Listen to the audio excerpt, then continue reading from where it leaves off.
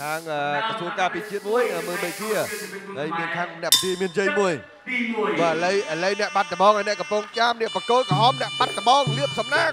បកគោខៀវបុនសធាអ្នកកំពង់ចាមអូយអ្នកភូមិអ្នកភូមិដេញពោសាលាមួយឃុំកបៅហ្នឹងបាទគឺអត់រៀនអង្គុយយើងជឿរគាត់ឈរមើលតែម្ដងបាទចាំហូរទាំងអស់គ្នាបាទប្រាប់ទៅទាត់ទៅទាត់មកធាក់ឆ្វេងរបស់បុនសធា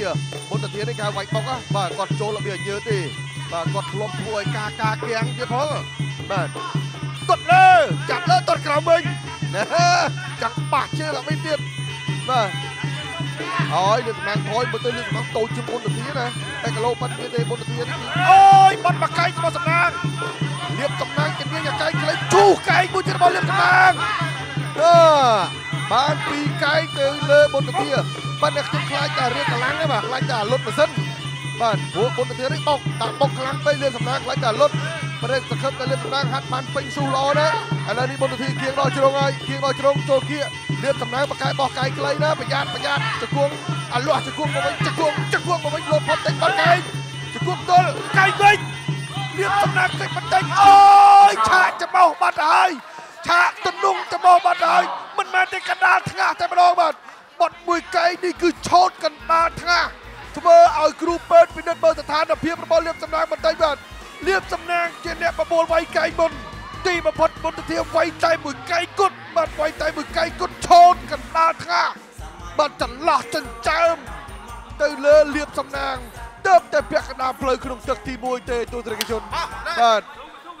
វាយលុយធំអ្នកឈ្នះ2005អ្នកចាញ់ម៉ូតូ